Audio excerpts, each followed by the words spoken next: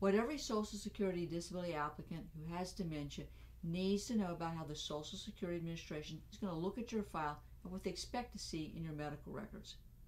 Did you know that there are four different types of dementia?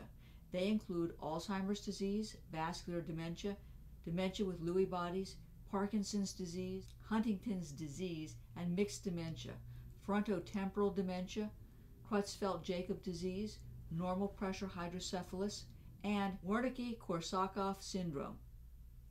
The Social Security Administration is going to want to know what type of dementia you have, and they'll want to see objective basis for the diagnosis. But they'll also want to see symptoms of dementia in your medical records. Now, these symptoms can include both cognitive and psychological changes that can impair and even eliminate your ability to perform your occupation. The changes that they expect to see in your medical records include memory loss, difficulty finding words and communicating, difficulty with complex tasks, difficulty with planning, organizing, and completing tasks, difficulty with coordination and motor functions, and difficulty following written and oral instructions.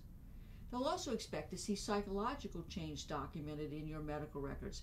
These changes can include personality changes, paranoia, agitation, hallucinations, and inappropriate behavior.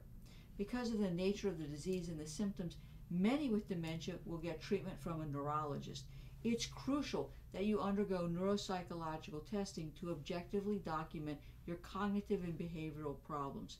The Social Security Administration will want to see the results of that testing as part of their analysis of your claim.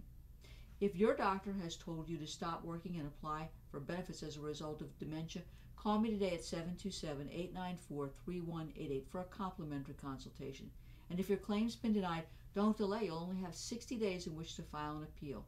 Call at 727 894 3188. Make the call, Cavey Law.